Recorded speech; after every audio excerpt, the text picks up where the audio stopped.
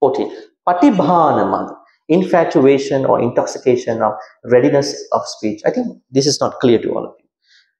Now, patibhana means impromptu, impromptu uh, speech. Have you done an impromptu speech in your life?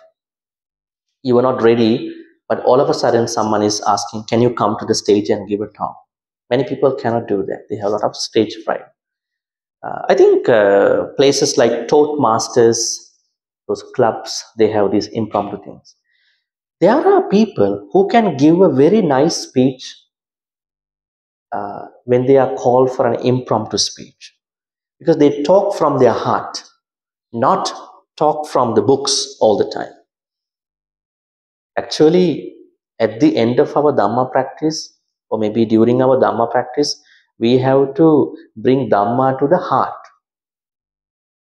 not just to the head. Lot of people's Dhamma knowledge has stuck in the head. It does not flow to the heart.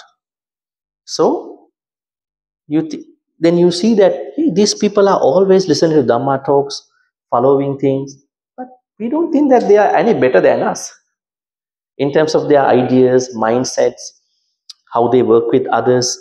It is because it has stuck in here. It does not flow. It has not flown on to the heart. Right? So, patibhana means this ability to speak uh, impromptu ways. Maybe so. Just because you have that ability, do not condemn other people for their inability for doing as such.